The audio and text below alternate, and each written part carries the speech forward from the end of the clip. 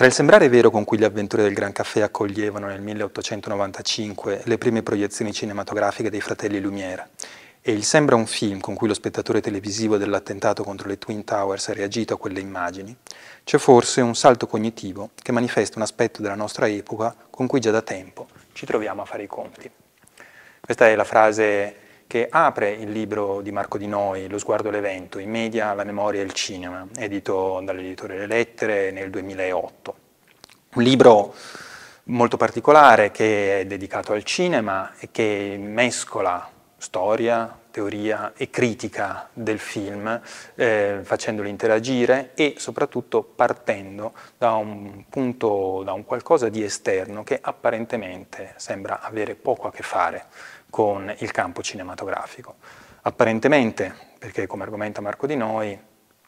l'attentato alle Torri Gemelle dell'11 settembre 2001 eh, in realtà chiama in causa proprio la capacità e le forme di mediazione che le immagini hanno del rapporto fra l'uomo e il mondo. Mediazione nel senso appunto di orientare e di dare un senso a questo stesso rapporto. E allora se questo è il cuore il nocciolo dell'evento, dell'evento 11 settembre 2001, che cosa meglio del cinema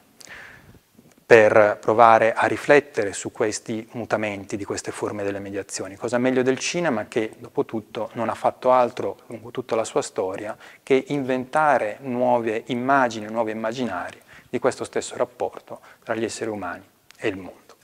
Il libro, mm, appunto, è una grande cavalcata attraverso la storia del cinema e soprattutto attraverso alcuni film e alcuni autori molto particolari, da Pierpaolo Pasolini a Roberto Rossellini, da Werner Herzog a Takeshi Kitano, da Lars von Trier a David Fincher di Fight Club, film del 1999 e la copertina poi del libro stesso. E questi film vengono interrogati per cercare di non solo trovare delle possibili configurazioni visive diverse dello stesso attentato, ad esempio del, del, film a episodi 11 settembre 2001 o ad esempio ai lavori di Spike Lee, ma anche proprio per capire come il cinema ha inventato nuove possibilità di sguardo in relazione alla messa in scena della memoria, degli eventi traumatici o semplicemente del racconto della realtà. Ora, Iniziare questa serie dedicata all'11 settembre 2001 con il libro di Di Noi è dovuto al fatto che questa è stata una delle prime riflessioni, se non la prima riflessione compiuta in Italia su questo rapporto, cioè sul ruolo delle immagini nell'11 settembre. Ma iniziare è, con questo libro non è solo una semplice questione cronologica, è anche perché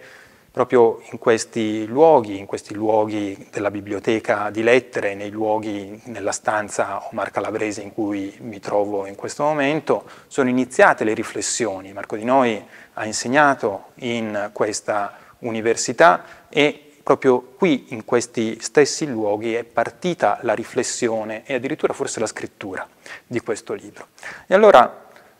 per che cosa rimane di questo libro e soprattutto di quella frase, di noi spettatori di quelle immagini, soprattutto a 21 anni di distanza, quando magari